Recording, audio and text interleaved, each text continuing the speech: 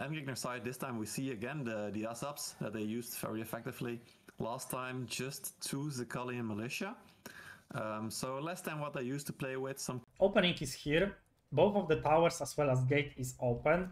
The far right um, tower is not there, so definitely Yeah, let's see if Endgegner decides to also bring up their units that are currently down on down below. We could see Susno on the side watching uh, from uh, all the way on the side of the walls, and we see that uh, Team Kittens actually do the standard rotation to B. Let's see.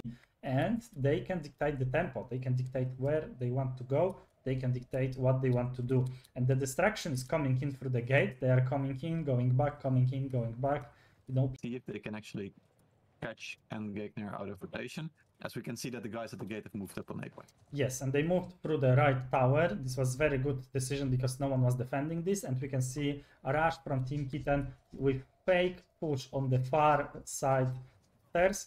Was they were able to catch Endgegner off guard. The Endgegner moved quite a few players over there, but then quick rotation back from Team Kitten, and they are going to have majority of forces for now on the A point. They're rotating though, so this should be going to be heavy fight on A. We can see advances coming in from Team Kitten, going to hold in place all the Endgegner, but Gavinio very well placed here in behind.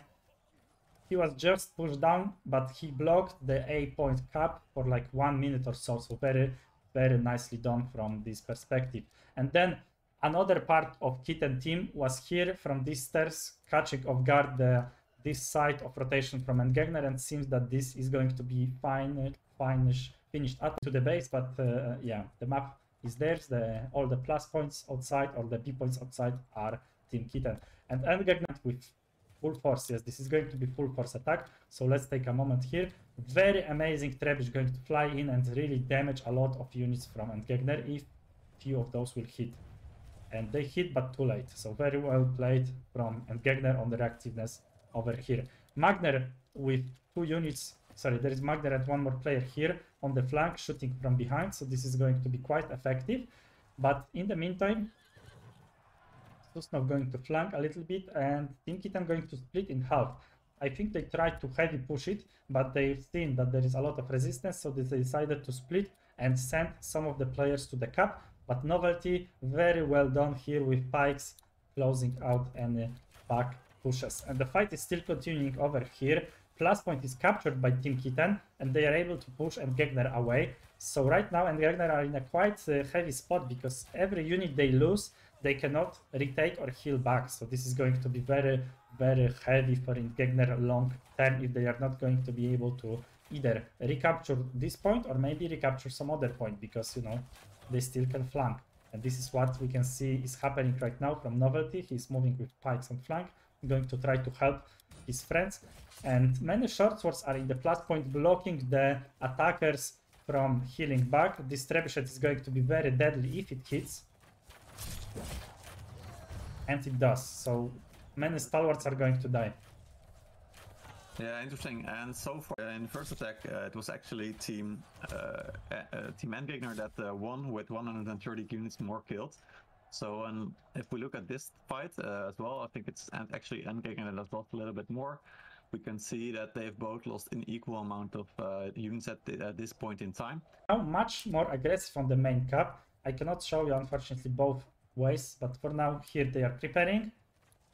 Here as well they are pushing. Endgegner much more force right now on the back point, so they are going to hold them here quite easily I imagine, but here it's quite equal. So we will see that where that goes advances coming in, one advance used, second advance used as well. We can see some halberd sergeants fighting forward, actually two of those, so very interesting unit choice.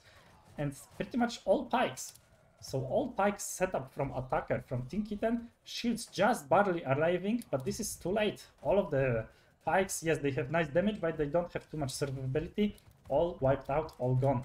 So Yeah, just Yeah. look at this Fortebraccio use. It's amazing how they move in with three of them at the same time. We could see that the kittens actually managed to get on the supply on the top side, but it didn't look like it was enough as the armigers clean up whatever's left of uh, Team Kitten. Um, Team Kitten actually seems to be on the supply in the top, but I think it's just a couple of heroes and uh, 50 more units, and Endgegner hardly lost anything in this battle. Yes, but still, some of the units from Endgegner were quite heavily damaged, and they need to go to the back plus to uh, heal up. And this is what they, we can see what they are doing currently. And this time, this will be used by Team Kitten. They are pushing right now again. One advance to the left, one advance to the right, nicely coordinated. Condot here is pushing in the middle, going to put additional pressure. And we can see a lot of pikes once more used, and they are slowly winning the fight, slowly gaining the ground. But Endgegner, they have more players in the back. They have some horses around, they have some pikes, some stalwarts still coming in. Magmer as well from the back with cavalry, but this is covered nicely by the halabards.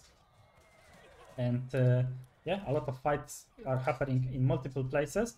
Seems like this is still quite equal in terms of units left alive. Trebuchet's flying in behind everyone, so they are not going to catch anyone, I believe. Unfortunately not. And uh, yeah, another advance coming in from Endgegner, another charge coming in from Endgegner. They are closing in all the remaining players who were here from the push. They are left without the units. Team Kitten are slowly crumbling under the heavy attack. Endgegner is winning this battle currently very big because look at the supply uh, that's from Kittens uh, close to B. They're also losing that one as Endgegner takes it over. So it's going to take even longer for Kittens to get ready for this next attack. But they only have 360 units left and more is getting cleaned up as well. So I don't think Team Kittens is able to make a quick uh, quick comeback here, if they even can make anything happen at all. And Gegner is going to use what they have to just kill as many units, not allow Team Kitten to prepare any additional attacks. And we will have to wait these five minutes, I guess, for the battle to finish because with the main towers or, or, or whatever. So whenever you have this quest, you can use this to your advantage. Yeah, and amazing. the red team is victorious. No more spawns, so actually it ended Tw- 25 seconds before the clock. No more respawns, it ends automatically. It's nice to know. I, uh, in the next matchup where it goes here, and we are going to see Endgamer attacking this time instead of defense. So Team Kitten on defense, of course. Let's start with attackers. We can see two muskets, one spear, and a lot of Fortebraccios, so maybe that's part of uh, what I just learned from um, from Endgegner. Um, uh, quite a bit fewer stalwarts this time, you know, overall, and also some javelins, of course, trying to take down the, the Martellatori that are pushing it, or serfs it is, I think, since there's no shield. Uh, that is a successful trap, I think. Wow. wow, yeah, this is quite an amazing trap, even though it killed And Team Kittens is expecting a big rotation, but it looks like Endgegner is going to just go for A. So for now, team, uh, Endgegner actually probably has the flank on A, but if the Kitten team on the wall uh, manages to move onto A, they can actually flank uh, Endgegner also. Now, as I said, Endgegner choosing both sides, going to push. We can see similar flank from the javelins as LLamaland used last week. So I guess some simil- uh, similarities are here and there. But for now, Team Kitten, not too many units. Yes, they have them blowed out. There, there is the Endgegner specials, the Kali Militia on the flank to open up the, the the shield walls. And look at this, it's so effective. They can move in straight away. Those stalwarts are not doing anything anymore. And we will have to see if uh, Kittens actually responds fast enough in getting back on the A point. But this is a big, big push from Endgegner. Yeah, and uh, amazing thing that Gegner did this did here was actually shooting across. They have used the soldiers from this side to shoot these stairs, and the units, ranged units from this side to shoot these uh, stairs from the back. So basically, all the javelins were thrown in the back of the defenders, just on the further side away. And in this mean, in the meantime, I mean, Team Kitten, they were not staying AFK. They were still pounding them with a lot of javelins to keep an eye out because right now we can see both teams pretty much full purple units. So they are still going to have the, their preferred units available more earlier that much. Two times landsknecht i believe are coming in. Three players fourth player is coming in climbing here from the back. And in the meantime they are creating a full-on push from the front. One player with pikes covering behind but yeah they have a lot of players here a lot of the Zykalian Militia, uh, double Namkhans as well. So very offensive in terms of the damage. And uh, yeah, the front line is still pushing, even though they have so many ranged. Let's look at the let's look at the back. Let's look at the other fight that's coming in. Look at this. Endgegner is coming in from different directions. As Kittens is also trying to come in from the back of Endgegner, but I think it's being caught by Endgegner as well. Yes, so the team team of Endgegner are rotating to cover their back, but cap point clear, empty pretty much. One Namkhan unit left, one pike unit left, and that's it. And they are going to use the trebuchets to close them in. Tank mobile, the last player alive from the defenders from Team Kitten.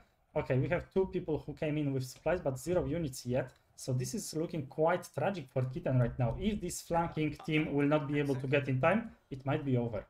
Yeah, exactly. This flank from Kittens on the left side of the or the right side of the screen, that is going to be very important. It looks like they're losing out because that was so important because uh, you can, as you can see, the trebuchets can hit Team Kittens re resupply so hard. But it looks like they might be quick enough with the berserkers coming in. Look at that, they're rushing in. Yes. Uh, Endgegner can regroup though, perhaps quite fast, uh, faster than Kittens can right now. Armigers come in, but they turn their till and looks like it's a small win for Kittens this time. At least they survived. Yes, they did indeed survive, but with what losses, right? They have lost. Yeah. Uh, they have. They have 300 units left, Mhm. less. Yeah, very happy losses. They are over 650 units lost, and Endgegner only lost 400, so they are 250 units down on Kitten side. quickly, and this is going to happen in a very short time period. The Endgegner team regrouped very fast, going to create another push. This time, full force one way in. No flanking mambo jumbo, just full force on forward. And they already captured the corner. They're going to close the defenders counter push with the trebuchets. They are also covering their back, I believe, right now. And yeah, the fight is moving in. Condottiere is rushing in the back end to create uh, as much distraction as they can in the back. Some of the shields are still covering here on the left side, but they are pushing right now. So full force stalwart. Four units of stalwart, I believe, are moving forward. Some javelins as well, cavalry charging from the left. And Team Kitten using their pikes right now to counter advance. Seems like they don't have too many units left right now when it comes to the melee. Only javelins here on the right side and on the uh, upward and halabards coming in from the spawn but other than that they just have a couple of ranged units left and then Gegner heavy pushing forward they lost quite a lot in this push yes but they still have quite a lot left so seems like this initial fight where Team Kitten lost the units they wanted to have was very painful for them they cannot use the units they want right now and look at that cavalry left cavalry right cavalry from the north everywhere three units of cavalry from Endgegner charging around playing with what's left and only six players alive for Team Kitten. I don't think they will be able to hold this one. No, I don't think so either. Look at this. There's so many stars of Fortebraccio in front of the the camp, and there's still six trebuchets left as well. You can see Kishipisha and Kronos on the side. Uh, they can't even get in uh, down below from the stairs. So Kishipisha, he actually can, but he's going to be the last one that will be able to. GG, well played from Endgegner. Yeah, well played from Endgegner team on winning 2-0 their fall their whole matchup here. Performance from what they have shown us. Yeah, exactly. And if you look at these stats, you can see that uh, Kittens had to fight pretty much all the time.